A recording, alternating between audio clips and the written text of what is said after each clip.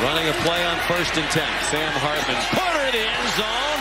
Catch is made by Jaquarii Roberson for a touchdown. Beck looking to throw. Pressure comes from Suleiman Kamara. Over the middle. Incredible one-handed pick. Top of your screen. See if they go there. Hartman going through his progression. Fires. Touchdown, Demon Deacons.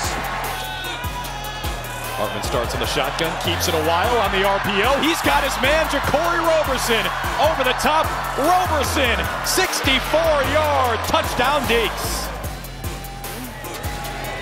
Knows all about that Bronx pizza. Ball comes loose. Milton put it on the ground. He got rocked. Chase Jones recovers it.